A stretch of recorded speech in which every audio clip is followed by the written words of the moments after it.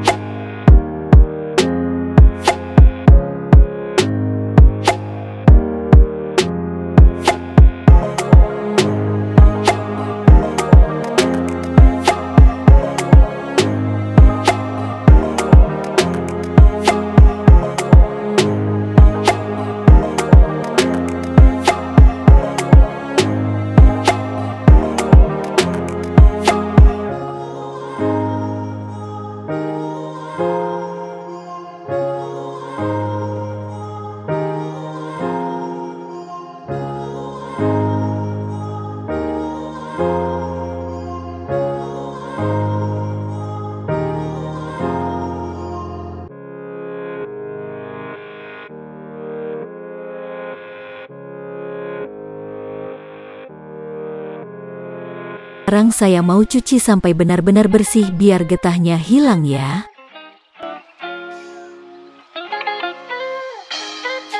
Terus masukkan satu sendok kapur sirih yang sudah dilarutkan dengan air.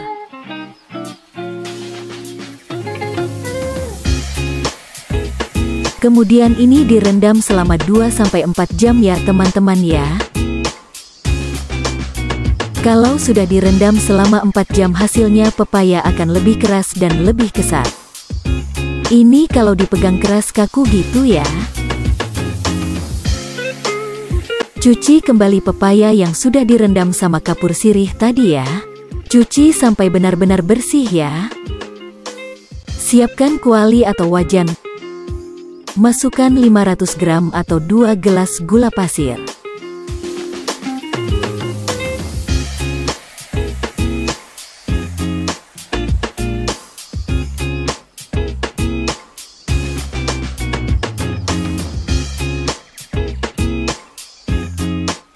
Tambahkan air secukupnya kemudian diaduk hingga merata ya.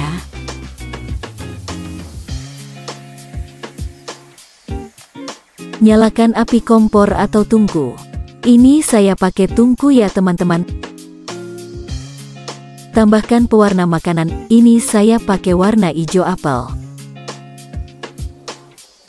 Ini saya mau masak menggunakan api sedang cenderung kecil biar air gulanya itu benar-benar meresap. Nah, ini hasilnya teman-teman. Manisan pepayanya sudah jadi ya. Ini rasanya enak banget. Wajib dicoba di rumah ya teman-teman. Oke teman-teman kalau gitu sekian dulu video saya kali ini semoga bermanfaat sampai ketemu lagi di video selanjutnya.